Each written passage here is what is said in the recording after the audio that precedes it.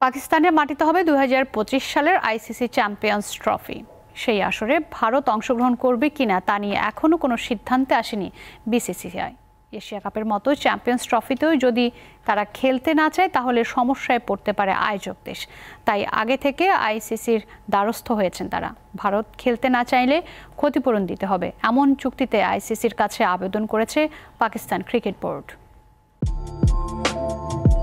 রাজনৈতিক কারণে ভারত পাকিস্তানের সম্পর্কের অবনতি দীর্ঘদিনের। এই খারাপ সম্পর্কে প্রভাব পড়েছে দুদেশের ক্রীড়া সম্পর্কের মাঝেও। ভারত ক্রিকেট দল পাকিস্তানে না যাওয়ায় এবারের এশিয়া কাপ পুরোটা এক আয়োজন করতে পারেনি পাকিস্তান। ফলে ভারতে চাওয়া অনুযায়ী হাইব্রিড মডেলে মাঠে গড়ায় টুর্নামেন্টটি। এই ব্যবস্থায় বাকি সব দল পাকিস্তানে খেলতে গেলেও ভারতের সব ম্যাচ হয়েছে শ্রীলঙ্কার মাটিতে। সেই ক্ষত এখনও পিসিবির কাছে টাটকা। তাই এবার আগে ভাগেই সতর্ক তারা। সূচি অনুযায়ী দুই হাজার পঁচিশ চ্যাম্পিয়ন্স ট্রফি হওয়ার কথা পাকিস্তানে। আয়োজক দেশ পাকিস্তান হলেও তাদের সঙ্গে এখনও চুক্তি স্বাক্ষর করেনি ক্রিকেটের নিয়ন্ত্রক সংস্থা আইসিসি। তবে বিশ্বকাপের সময় আহমেদাবাদে আইসিসির প্রধান নির্বাহীর সঙ্গে আলোচনায় বসেছিলেন পিসিবি চেয়ারম্যান জাকা আশরাফ ও প্রধান পরিচালক কর্মকর্তা সালমান নাসির।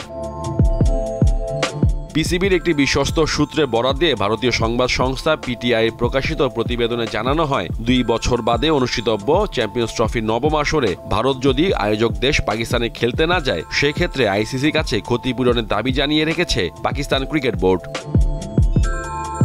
বিসিবি কর্মকর্তা আইসিসিকে জানায় বিসিসিআইয়ের দল না পাঠানোর শঙ্কার কথা। এমনকি চুক্তিতে যেন এটাও থাকে যে, বিসিসিআই যদি দল না পাঠায় এবং ভারতের ম্যাচ অন্য কোথাও স্থানান্তর করতে হয়, তাহলে আইসিসি কর্তৃক পিসিবিকে ক্ষতিপূরণ দিতে হবে।